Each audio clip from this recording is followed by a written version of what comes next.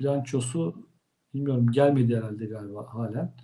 E, biliyorsunuz 6 aylık e, bilançosu e, beklentilerin oldukça üzerinde e, gelmişti. E, ve hisse senedinde zaten e, bunu fiyata yansıtmıştı. E, çok yüksek olasılıkla e, 9 aylık bilançonun da e, iyi gelme ihtimali e, oldukça yüksek.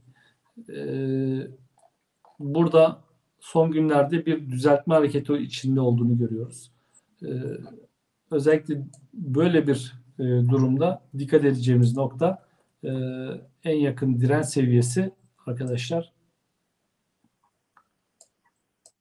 e, 9 10 seviyesi.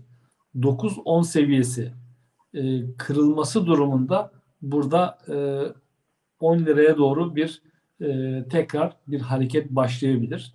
E, ama e,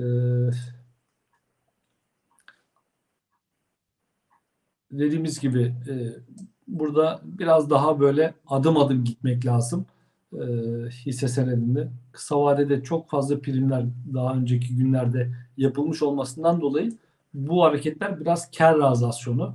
Bunun tekrar trende dönüşebilmesi için arkadaşlar işte böyle durumlarda dikkatli olmak gerekir. Çünkü bilanço tarafında sürpriz beklenen kar gelmemesi durumunda ciddi bir satış baskısının e, oluşacağını unutmamak lazım bu hissede. E, çünkü bunun bir e, benzeri değişik bir versiyonunu şeyde görmüştük. Aydem'de bugün e, Aydem'de yüzde 9'a kadar e, düşüş olmuştu. Sonra yüzde 6 kapatmıştı. E, iyi bilanço beklenmesine rağmen e, onu da söyleyeyim. Şimdi böyle şeyler olabiliyor.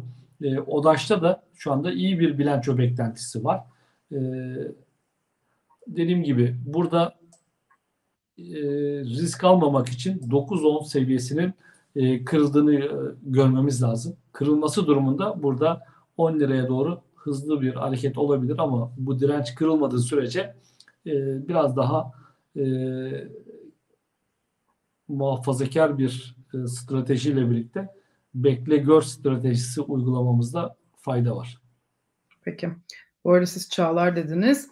Ee, yarın da 21'de Çağlar'la yayınımız var. Yine hissede